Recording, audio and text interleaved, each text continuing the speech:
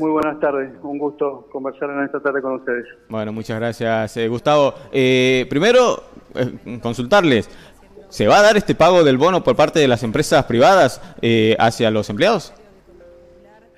Bueno, lo primero que hay que decir que hasta ahora se trata de, de un, de un trascendido, digamos, que no tiene un respaldo en una norma específica legal que obliga a las empresas, ¿no? Entonces, Ah, Solo un anuncio en conferencia.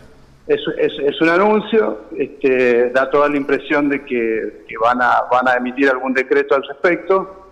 No sería la primera vez de que se emite un decreto para, para establecer un, un bono.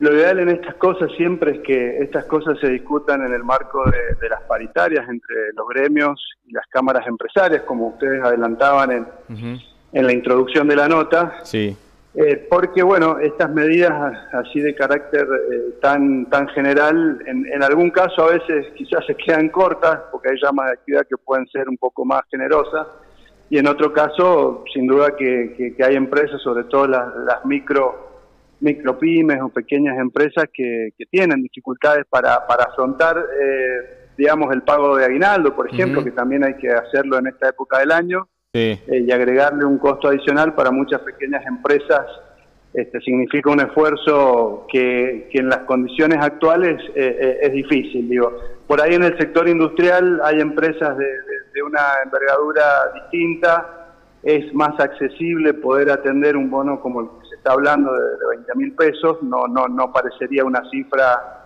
demasiado importante para el sector industrial, pero hay otros sectores, eh, como es el comercio minorista, las micropymes que, que- comerciales, de servicios, o, o que están en el sector agrícola, imaginemos todas esas empresas que, que tienen una o dos personas nada más, por ahí, bueno, ahí sí podemos encontrar dificultades para, para que puedan hacer frente a este, a este bono que se ha establecido, que, digo, por otra parte, lo único que hace eh, es eh, dejar en claro que aquí el verdadero problema y de lo que no se está ocupando el gobierno es la inflación, indudablemente. claro. Sí, Eh, pero a esto, no, no, ustedes, la Unión Industrial por lo menos, eh, habría conversado con eh, el secretario de Industria, con la ministra de Trabajo, para eh, darles a conocer que se va a realizar este pedido de bono, o no tenían conocimiento solamente en los trascendidos que, bueno, que y hasta que hoy se hicieron oficiales con, lo- con la conferencia. No, no hay, hay, hay algunos, algunos gremios que, que, que en mesas paritarias han, han venido eh, planteando esta posibilidad, eh, pero de manera oficial, digamos, no han habido convocatorias a, a los sectores empresariales para, para, para acordar un- una medida de este tipo. Claro. Eh, sí han habido conversaciones de, de algunos gremios con algunos sectores empresarios este, para, para llegar a algún tipo de este acuerdo. Normalmente muchas veces estos, estos bonos de fin de año suelen establecerse eh, como una suerte de adelanto, pago a cuenta de, de paritaria, Claro. lo cual, digamos, si bien significa un, un esfuerzo en este momento eh, para las empresas,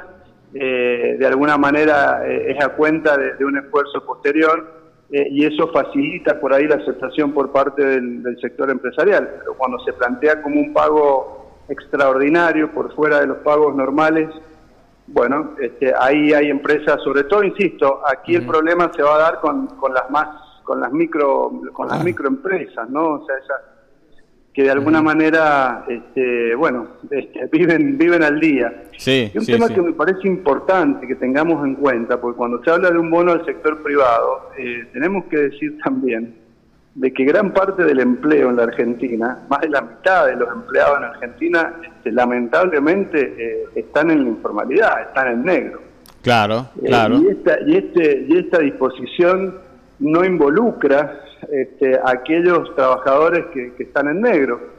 Eh, y esto de- desnuda también un grave problema que tenemos en Argentina, que es la legislación laboral y la, la- la burocracia y los costos asociados al, al tema laboral que este, hacen que este, toda la, todo el trabajo en Argentina sea mayoritariamente informal. ¿no? Ese es el verdadero problema hoy en el empleo, la informalidad, junto por supuesto con la inflación que, que- que se come el bolsillo de los trabajadores indudablemente. ¿no? Claro. Eh, Hugo, perdón, eh, Gustavo, en este caso sí eh, se legisla a través de, de algún decreto eh, por parte del gobierno nacional el empresario va a tener que verse en la obligación de poder de realizar este pago, eh, ¿se va a poder realizar eh, y negociar también a través de los convenios eh, colectivos de trabajo de paritarias o no cree que se pueda dar de esa manera? No, si se establece por algún decreto, cualquier discusión que se ha estado llevando adelante en paritaria va a quedar absorbida por el decreto. Bien. A menos que alguna paritaria puntual en algún sector, eh, no sé, por ejemplo, de la minería o del petróleo, que por ahí suelen ser sectores un poquito, este, eh, digamos, más pudientes, por, por ponerle un adjetivo, este, puedan establecer eh, a nivel convencional un bono mayor eh, si establecen un bono mayor, ese bono mayor va a quedar, digamos, absorbido, va a absorber esta disposición del gobierno. De alguna manera lo que el gobierno va a hacer es poner una suerte de, techo, claro. y después alguna paritaria logra mejorarlo, dependiendo del sector, eh, digamos, este, es lo que va a ocurrir.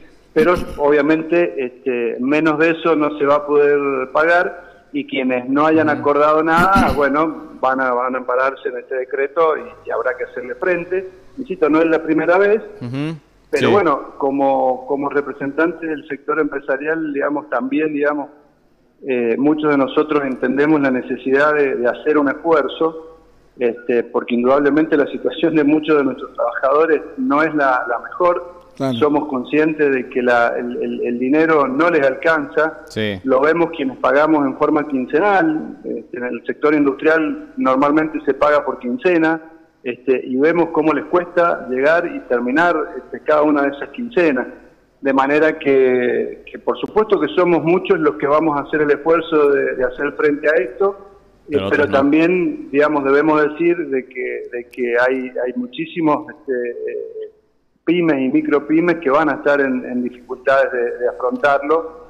Eh, y eso es una realidad porque también golpea la crisis económica mucho. Sobre todo lo vemos en, el sector comercial y en el sector de, servicios y en muchos sectores este, del campo, ¿no? Gustavo, lo que resulta... El campo sanjuanino, ¿no? Claro, sí, sí, sí, sí, no, no, no el campo, claro, adinerado.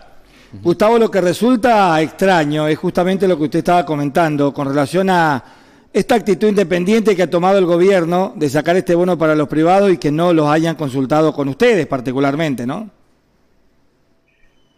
Bueno, yo creo que esto también responde a, dar una respuesta hacia adentro de la interna que, vemos que existe en el gobierno y a las presiones internas de determinados sectores sindicales o de agrupaciones sociales que le vienen pidiendo al gobierno alguna suerte de medida o de gesto en este sentido eh, pero insisto, todo lo que tenga que ver con temas salariales son temas que debieran dejarse librados al acuerdo paritario, que es como se viene llevando adelante. Hay muchas paritarias que, se vienen cerrando, en, eh, digamos, para no perderle pisada a la inflación.